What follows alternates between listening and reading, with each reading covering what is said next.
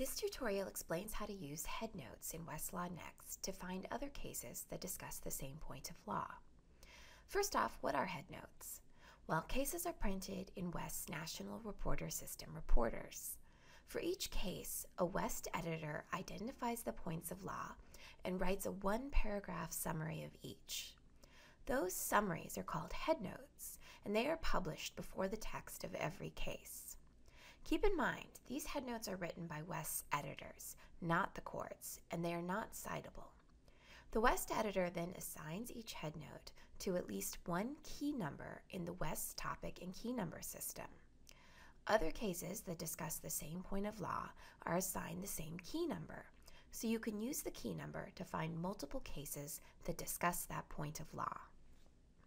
So how do we use headnotes in Westlaw next? Going back to the example we used in some of the other tutorials, we're going to start with a case, Golden Gateway Center versus Golden Gateway Tenants Association. Remember, it's a First Amendment case from 2001 about the right of a tenants association to leave leaflets in an apartment building. Now, we've read the case and we're particularly interested in the state action issue. Specifically, what actions of the private property owner amount to state action for purposes of the free speech clause of the California Constitution. We want to find more cases about that topic. So the first thing we're going to do is pull up the case by typing the citation 26 Cal 4th 1013 in the search bar at the top, choosing California as our jurisdiction, and clicking search. So you'll notice that the version of the case that comes up is the official reports version. And if we scroll down, we see the headnotes from the California Digest of Official Reports. Now, these are no longer updated, so we want to switch to the version with West's headnotes from the National Reporter System. So we go back to the top and click on the link View National Reporter System version. And here it is. And if we scroll down, we see West's headnotes, six in total. Now we're going to read through the headnotes until we find the headnote or headnotes, there may be more than one, that describes the issue that interests us. In this case, it's headnote 3. If we click on the 3, it will take us to the section of the case where this issue is discussed. So, how do we find other cases that discuss this issue, the state action issue? We have two options. If we want to view the cases that cite Golden Gateway Center, and that discuss this issue, we can just click on the link below the headnote, which indicates that 23 of the cases that cite Golden Gateway Center discuss this state action issue.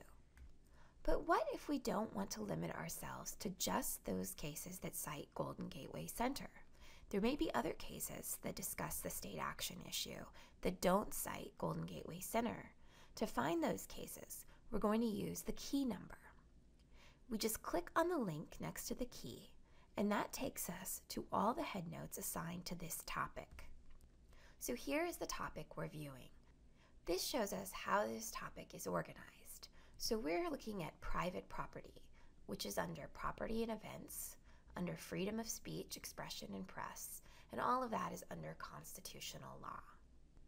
Now, the first thing we want to do is limit our jurisdiction to California and we do that using this link at the top. So now there are 129 headnotes that fall under this private property grouping.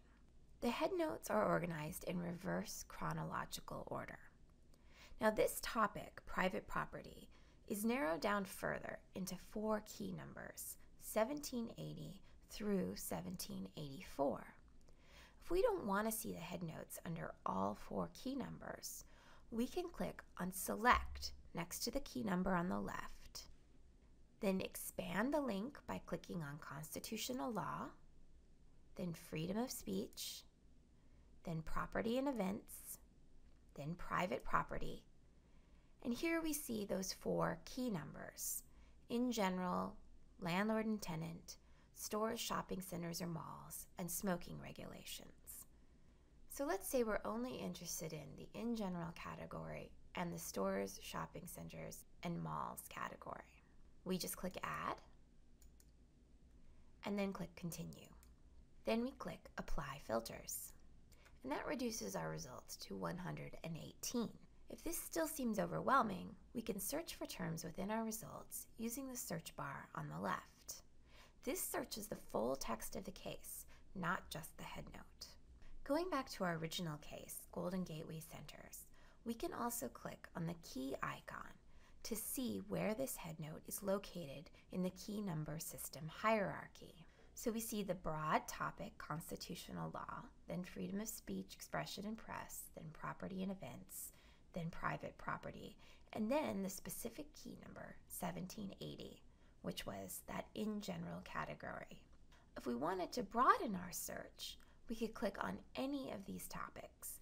So, for example, if I click on property and events, I retrieve 332 headnotes, including the ones related to private property. So that's your introduction to headnotes.